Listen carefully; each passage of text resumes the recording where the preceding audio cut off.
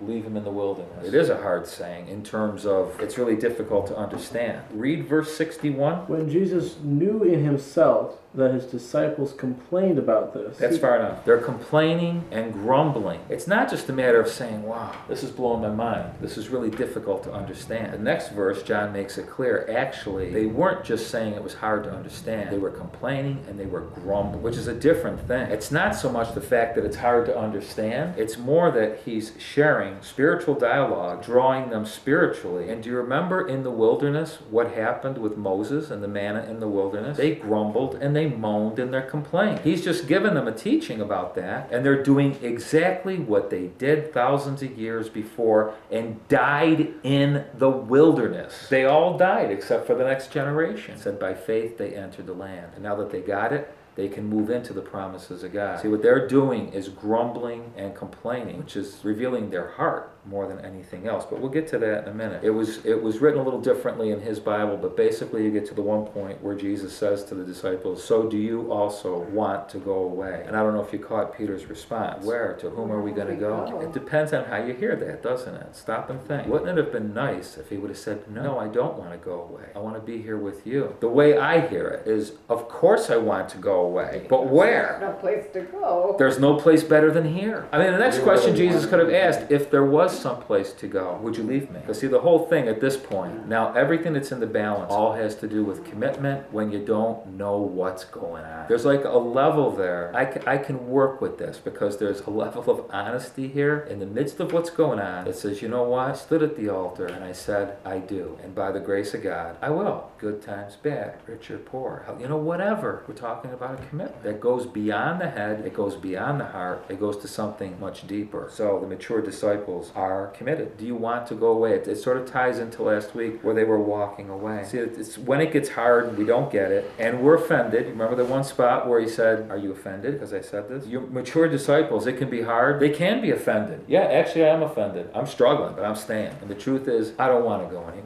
I want to stay here and know you more. I want to stay here. I want to be with you. I want not for what I can get out of it so I understand more. It's the most beautiful thing in any relationship husband, wife, whatever it might be. I want to be with you. Would you read verse 5? Then Jesus lifted up his eyes, and seeing a great multitude coming toward him, he said to Philip, Where shall we buy bread that these may eat? But this he said to test him, for he himself knew what he would do. Philip answered him, Two hundred denarii worth of bread is not sufficient for them, and every one of them may have a little. One of his disciples, Andrew Simon, Peter's brother, said to him, There is a lad here who has five barley loaves, two small fish, but what are they among so many? This is going way back to the feeding of the thousand. Jesus says, Where shall we buy bread? He does not say, Where shall we go? He's on one level. He asks Philip, and, and John tells us Jesus knew what he was going to do. This was a test. And Philip answers him, Even if we had 200 denarii worth of bread, it wouldn't feed this crowd. So he doesn't answer the question. It's obvious that Philip did not really understand, did not comprehend the question. Jesus is referring to like in Isaiah 55. So where, where shall we buy bread? All he was saying to him was, Our God shall supply all of our needs according to his riches and glory. We don't have to go anywhere. Our comprehension of his commitment, that becomes a challenge. Because we don't really understand how committed he is, we struggle in our commitment. At this point, Philip doesn't realize how absolutely committed to the point of a cross that Jesus is. I wonder, you know, we talk about the cross and that's fine. Do you guys ever think throughout the day of how committed Jesus really is to us? And I think because we don't, that, that's just like, it's huge. And no person could ever be like that. Although sometimes we expect that of people, which often can prove the end of a relationship. But not understanding the fullness of his commitment. Philip is just not getting this at all. And based on his lack of comprehension of the one who's committed to him, that commitment, that challenges our commitment. Now, John says that it was a test. Psalm 105, uh, 19, would you read that? Until the time that his word came to pass, the word of the Lord tested him. The king sent and released him. Because Joseph has a word from God that is going to come to pass. But until such time it comes to pass, hmm. there's a testing that's always going on. Hmm. Verse 26, another challenge. Jesus answered them and said, Most assuredly I say to you, you seek me not because you saw the signs, but because you ate of the loaves and were filled. Their focus, our focus, was on the wrong thing. He says, You seek me not because you saw the signs, but because you ate. You missed the sign. Now, if you don't know where you're going and you miss the signs, you're sure not to get there. So you'd be nowhere with a stuffed stomach. And some philosophers have said, What else is there? but we fix our eyes on what we seek. They wanted more food. That's what their eyes were on. Jesus is like, hello. These are challenges to our commitment. When we get our eyes on the wrong thing, very easy to mess up after that. Verse 42, another challenge. They were saying, Is this not Jesus, the son of Joseph, whose father and mother we know? How does he now say, I have come down out of heaven? That's one of the scariest ones to me. Identification leads to expectation. You know, the guy can make tables and chairs. I get that because he's Joseph's son. That's what I expect. I have a level of expectation. How we identify Jesus will determine what our expectations will be, and at that point, it can become challenging to our commitment. In other words, if we've got Jesus pegged over here, and therefore we should expect this, let's take healings for instance. We've got him pigeonholed now. So that means I pray and he should heal, and he doesn't. And I'm disappointed. And now my commitment is impacted because he hasn't lived up to what I thought he should. And it was based on me fixing something on him originally. Maybe I shouldn't have approached it that way. Maybe I should approach it from a position of Jesus knows, Jesus cares, Jesus loves us. He is beyond 100% committed to us. So something may happen that I don't get. It's okay, I got Jesus. This is a mature level of discipleship. These are not for the ones that are going to walk away. That's too hard to understand. I'm out of here. You won't find any of these martyrs over the last 2,000 years that have been martyred for the kingdom and for Christ. Wishy-washy in this kind of an area. I've got to believe any of us that have been in the room for any length of time walking with the Lord have been finding out more and more and more how little we know. And it's a bit of an antinomy because as we're finding out how little we know, we're getting more, we're getting deeper and deeper spiritual. That's what the Father's been calling us into is a deeper relationship based on a trust and a love that goes beyond anything other than deep calling to deep. It's a spiritual thing. Verse 52. Then the Jews began to argue with one another, saying, How can this man give us his flesh to eat? There's two hows in the same chapter back in the beginning of Luke. One comes out of Zacharias' mouth, one comes out of Mary's mouth. Zacharias is shut up as a result, and Mary bursts the Son of God. They're both asking how in different ways for different reasons. In this chapter, they're like Zacharias. They're not like Mary when you think of the hows. And if you go back to Luke 1 and you read how Zacharias basically is asking for proof, where Mary knows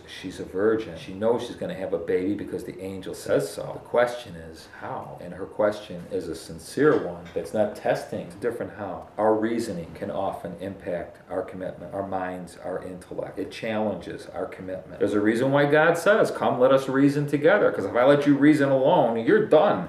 These are the people that are walking away because of their reasoning, their commitment. Verse 60. This one has to do with desire, our hearts. Therefore, many of his disciples, when they heard this, said, This is a hard saying. Who can understand it? The word hard there, by the way, means dry. How many of us, if you were served a dry, tough steak, would hack our way through it? We might, or we might just say, you know what? I'm done. I'm not eating. When you put that in the perspective of what's happening, he's done this teaching and they've misunderstood his teaching the spiritual language. It's like them, you know, trying to cut this thing out. Thing is, is dry. Are you kidding me? This is awful.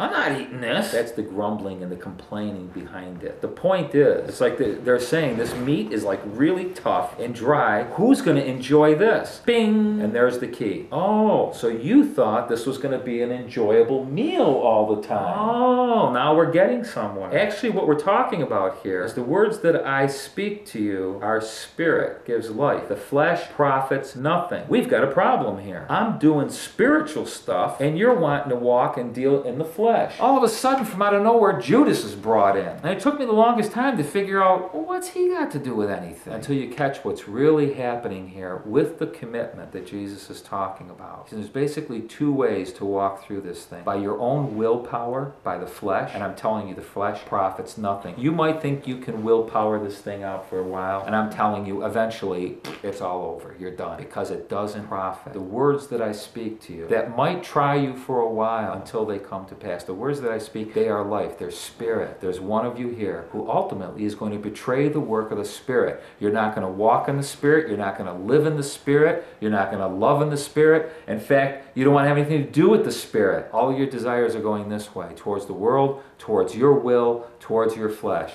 I'm not even talking about necessarily in this horrendous sin life. Just talking about it's either going to be the way of the Spirit or the way of your willpower. And he's saying, and I know one of you's already made your choice. You're just not receiving the language of the Spirit, the things of the Spirit. It's about heart. The heart is messed up. Euripides is uh, 400 BC, Greek poet, and he's got a great line. Do you prefer a soft lie or the harsh truth? Peter, as much as we've, uh, you know, kind of messed with him a little bit over the weeks and, and even tonight a little bit, to me it's very interesting where Jesus asks in the beginning of the chapter, where shall we buy? And Philip is thinking in terms of, you know, going to a bakery someplace. He's thinking that what we need is something outside of ourselves. What we've got inside is not enough. Peter, on the other hand, at the end of the chapter, where shall we buy? Peter says, to whom shall we go? In other words, the answer is at both ends of the chapter. The question's at the beginning, and the question at the end is the answer. Jesus is saying, listen, I am committed to you. As you grow in your spiritual development, you'll see how important commitment really is. You'll see the things that challenge commitment. That challenged my boys, but he's making it very clear. I am the bread of life. I am the one that you can feed off of, that you can live off of. And that's really the, the commitment he's asking for, is just to remain with him. I mean, mature disciples are not moved by anything, quite frankly. They're in. It's like we jumped off a diving board. There's only one place to go now. It's into the pool. I'm not looking, I'm not standing at the end of the board anymore. And in some cases, it's even scarier than that, because it's like you're blindfolded. And Jesus says, there's water in the pool, jump.